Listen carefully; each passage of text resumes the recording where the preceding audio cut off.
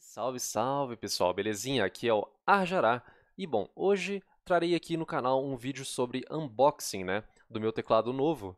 E bom, não é novo por assim dizer, considerando que eu já tinha um modelo antecedente a este no passado, né? E aproveitar também para contar um pouco sobre essa história, é, sobre o processo de RMA da Corsair e o porquê que eu vou recomendar esse produto. Eu tinha comprado um K70 Lux de LED azul, não era RGB, e esse teclado ele veio com um problema de fábrica. Era um problema que, de vez em quando, volta e meia, é, dava um curto-circuito. E toda vez que eu apertava, uma, por exemplo, a tecla P, a tecla P ela disparava toda a string que aparecia à esquerda do teclado, e isso acontecia com outras teclas também. E era um problema, assim, aleatório, era um problema que vinha e ia quando ele queria, assim, era tipo aleatório. Tipo, aparecia, sumia, aparecia e sumia esse problema. Era realmente muito problemático, porque às vezes eu tava digitando uma frase normal assim, aí começava, tipo, sei lá, bugar total e eu não conseguia escrever o que eu queria. E, tipo, pra fazer voltar a funcionar,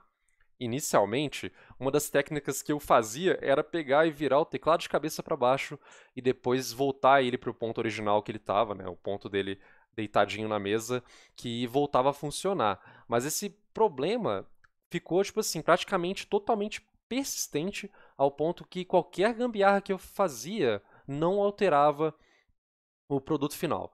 Então, assim, é um bug que ficou persistente e aí eu acessei o RMA com a Corsair e eu quero agradecer demais a Corsair, considerando que eles foram bem solícitos em ouvir o meu problema, eles me deram uma chance de trocar esse teclado e até deram um upgrade né, no meu teclado, considerando que o teclado que eu tenho aqui agora, que vocês podem ver aqui embaixo aqui, é um K70 Lux RGB MK2, então ele é um modelo acima, por assim dizer, é, tipo, revisado do K70 Lux que eu tinha.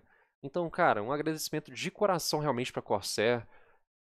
E é isso, eu espero que vocês curtam aí o vídeo. Não vai ser aquele melhor vídeo de unboxing, é bem assim, né? Uh, amadorzinho mesmo, com câmera de celular. Não vai ser o melhor vídeo de unboxing desse teclado aqui no YouTube, mas pelo menos vocês estão vendo aqui da minha palavra, da minha boca, que o RMR da Corsair é bom. Eles atendem o cliente quando você está dentro das cláusula, cláusulas que você pode conquistar o seu produto, né, a sua garantia. E o produto, desde o K70 Lux versão 1, por assim dizer, que eu tinha, já era muito bom. Então recomendo e acompanhe o vídeo, né, para ver se vocês gostam então desse produto ou não. Beleza? É isso. Tamo junto. Mete o dedo no like, no subscribe aí antes de começar o vídeo. E agora, segue aí com vocês. É nóis. E bom, aqui está o teclado. Uh, ele veio embaladinho, né, num papel craft. Eu já tirei esse papel, que tinha meu endereço, enfim, informações que a gente não precisava. E sobre um plástico bolha também, que é esse plástico bolha aqui, ó. E, cara, bora começar então a mostrar a caixa aqui rapidinho. Uh, eu vou provavelmente fechar aqui, ou não vou tentar fazer com uma mão mesmo. Eu nunca tentei fazer isso, cara. Enfim, vai com uma mão mesmo. Parece que não tem muito BO não. Sem problemas, né? Tem uma estáticazinha aqui segurando o plástico bolha, mas também tem outra camada, né? Pra eu poder girar e tirar. Então dá pra perceber que ele vem bem protegidinho. Tranquilo, né, pessoal? Vou tirar esse plástico bolha e colocar no chão mesmo. Sem problemas. E tá aqui, ó. A caixa do produto é essa. K70 RGB MK2, igual eu mencionei, eu acabei tendo né, um leve upgrade no, no produto, considerando que uh, o meu produto tinha saído de linha. E dá para perceber aqui, ó, esse aqui é a cor do botão, é o RGB Blue, que é um pouco mais duro comparado com o Red, que era o botão que eu tinha, beleza? Então é isso. Provavelmente eu não vou conseguir abrir isso aqui com uma mão só, porque deve ter um lacre na lateral que me impede de eu abrir isso aqui, ó. É isso, o produto vem lacrado, ó. Perfeito. Então, galera, me dá um segundo só, que aí eu vou poder abrir esse produto aqui. Pronto.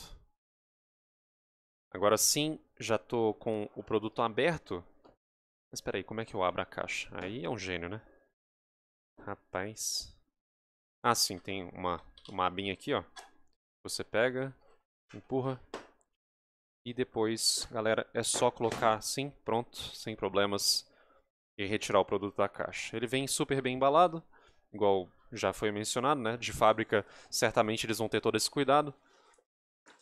Tirar o teclado com uma mão só é bem difícil, né? Então agora realmente estou sentindo na pele o que é essa galera que trabalha com uma mão só para fazer esse tipo de vídeo. Mas de qualquer forma, vou tentar tirar aqui o cabo, ó, da parte de dentro do teclado. Se a gravação ficar uma bosta, é isso mesmo, galera. É o que tem para hoje. Não vai dar para tirar com uma mão só, pera aí. Aqui está o teclado já separado da caixa. E esse aqui, ó, no caso, é o manual. Eu não acho que venha com CD, até porque não tem ninguém que use CD mais atualmente, né? Aí eu parecia um dinossauro falando, né? Porque negócio de CD é coisa de gente velha. E isso aqui é aquele negocinho que você usa, né? Aquela ferramenta para trocar as teclas do seu teclado por teclas emborrachadas. Fora isso, a gente tem aqui também é, é um wrist rest, como é que chama isso aqui? Descanso de mão, de punho, né? Que ele vem com uma certa... Deixa eu ver se consigo mostrar. Ele vem com uma certa textura, né? Pra dar aquela sensação boa no braço. Eu diria que o único probleminha disso aqui, dessa textura, é que ela vai acumulando um pouquinho de suor, né? Pela experiência que eu tenho com o K70 Lux que eu tinha. Mas fora isso, é um excelentíssimo teclado. E agora então bora ligar ele aqui para resolver essa peleja, né? Não, só o segundo, pessoal. Agora sim, ó, agora sim temos o teclado bem conectado aqui no PC, consegui botar o foco na imagem. Esse aqui é o teclado RGB K70 Lux, botão azul, né? Cherry Switch azul. E cara, bom demais, velho. Não tem nada a reclamar. Realmente foi um baita de um upgrade. Por mais que eu tenha perdido aqui, né, as funções ABNT, o cedilha não existe mais, ou dá para perceber que do L já pula direto para dois pontos. E aqui em cima, ó, aqui em cima é onde a gente consegue trocar o perfil, aumentar ou retirar toda a luminosidade do teclado. Aqui a gente tranca também para não ter acesso ao Windows e talvez o Alt Tab. Enfim, e aqui do outro lado, ó, temos o painel de música, né? Se eu apertar esse botão aqui, é o, é o stop, né? No caso, uh, aqui é para voltar a música, para pausar ou tocar. E aqui também para avançar e um knobzinho aqui de volume. Ó. Quando eu faço assim para cima, eu aumento o volume. Quando eu desço, reduzo o volume. E aqui eu muto totalmente o computador, tá? o som do desktop. Enfim, galera.